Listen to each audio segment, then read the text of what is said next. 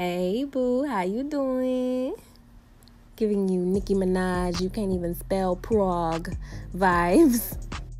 So in today's video, we will be talking about these lovely synthetic bundles by Sensationnel. It is the Boutique Kinky Straight 18, 20, and 22 inches, honey. It is in the color 1B and it is a one pack solution, so it comes with a closure. So to start off, I have my wig block here. I've already put on two caps, one just as a base, and then the second cap is the one that I'm actually going to be using for my wig. I am gluing the closure down instead of sewing it just because I want this all to be done with a hot glue gun for the sake of this video. All you're going to do is line up the front of the closure with your cap in the center.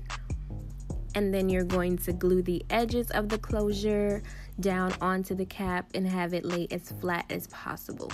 So I've already done the first one and this is basically what you're going to do throughout the entire process. You're going to pin the first end down to the cap and the wig block, measure out the length of the track that's going to be on this row. And just to make the process easier, I am just going to cut that length off and then you just glue it down in a straight line.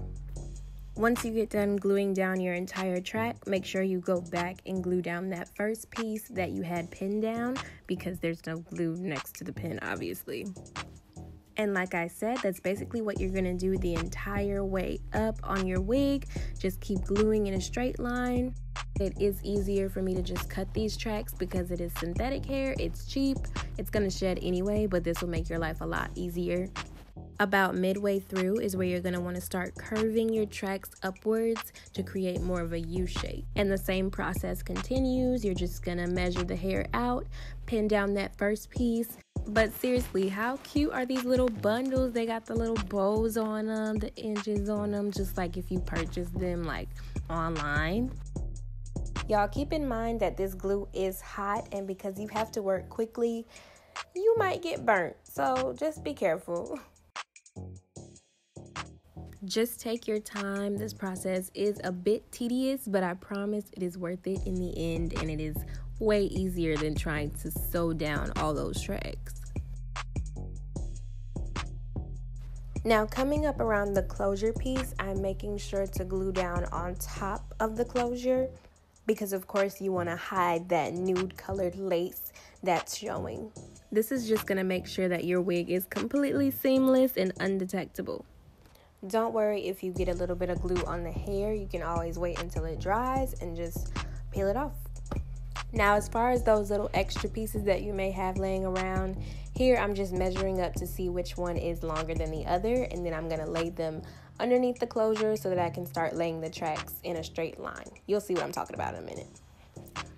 And the way you lay the hair here really doesn't matter that much as long as the gaps are filled in. I just found it easier to do it this way rather than trying to keep carving it and making that U shape. So all I have to do now is lay two straight tracks down and I'll be done.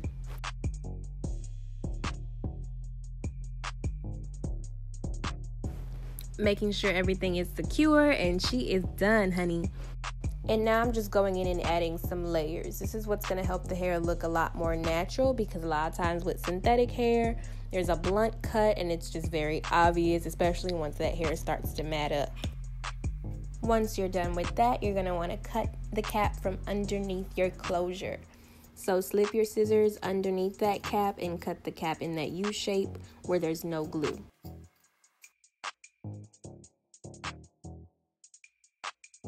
Now these last two steps are optional, but I am going to go in and tweeze the heck out of this part because I cannot be out here looking crazy. And finally, I am going to go in with some dry shampoo just to get rid of some of that shine. That is the number one thing I hate about synthetic hair. It's how shiny it can be. so yeah, I am going ham. and that is it, you guys. This is the finished product. She is giving you inches, honey. She is giving you length. She is serving you modern day Morticia, sweetie. that is all I have for you guys today. I hope you enjoyed this tutorial. Thank you so much for watching, and I will see you in my next video.